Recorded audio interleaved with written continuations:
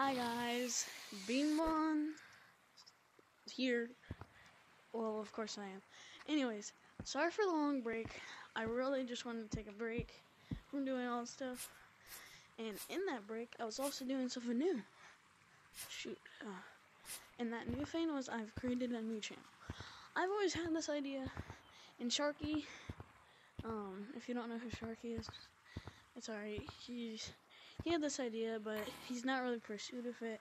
I also had the idea, he made the idea happen. But I just want to kind of make the idea happen too. So it was my idea and his idea at the same because we both thought of it.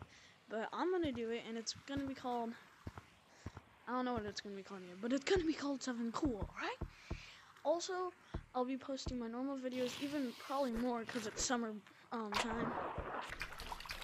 And since it's summertime, I have a little more freedom. Yeah, freedom. So I'll be able to post way more because I don't have to go to school. So pretty much, that's all I'm doing right now. Is